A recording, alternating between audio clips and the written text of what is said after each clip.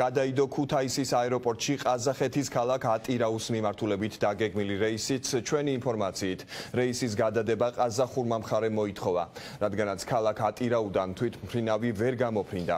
მგზავრები ბავშვებთან და მოხუცებთან ერთად რამდენიმე საათია აეროპორტში იმყოფებიან და არიციან როდის შეძლებენ სამშობლოში დაბრუნებას. ეკაპ ხაკაძე მოგვაწვდის დაზუსტებულ ინფორმაციას ქუთაისის საერთაშორისო აეროპორტიდან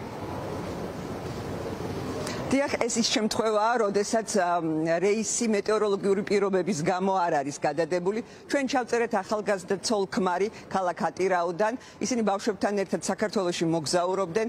ისინი მუშაობენ ნავთობის კომპანიაში და პირდაპირ აცხადებენ, რომ რეისი გადადებულია, რადგანაც მათ ქვეყანაში რევოლუციური სიტუაციაა და ადამიანები ამბოხებულები მოითხოვენ ნაზარბაევის ფორმალ არაფორმალური რეჟიმის გაუქმებას.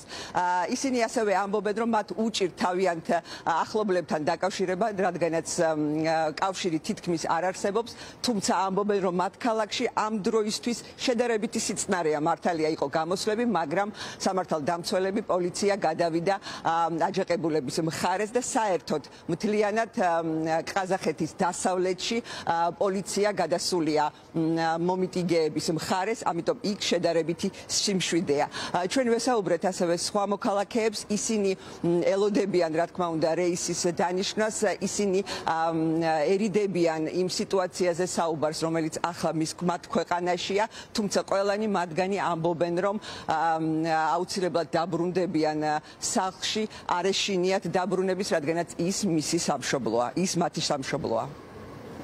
нас в стране революция. ჩვენს ქვეყანაში რევოლუცია და გადატრიალების მცდელობა დაიწყო. სწორედ ამიტომ ვერ ვახერხებთ სამშობლოში დაბრუნებას, რადგან ფრენები გადადებულია. ვერ ვუკავშირდებით ყაზახეთში კომპანიის წარმომადგენლებსაც რა ბედი გველის გამომდინარე იქიდან, რომ ფიჭური კავშირი, ინტერნეტი ყველაფერი გამორთულია.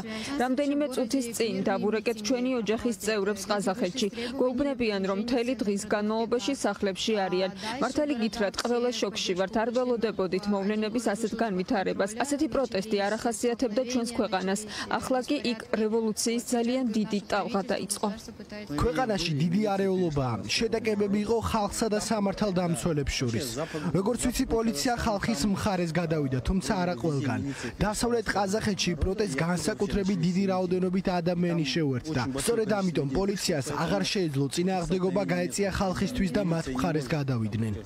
არაფრის თქმა არ შემიძლია გარდა იმისა, რომ სახში დაბრუნება მინდა ჯერჯერობით ვთქვით არაფერს გვეუბნებიან რატო ვერ ვბრუნდებით ჩემი ოჯახის წევრები და ახლობლები მელოდებიან არაფრის მეშინია მხოლოდ მინდა ჩემ სამშობლოში დავბრუნდე მაგრამ ვერაფერს გვეუბნებიან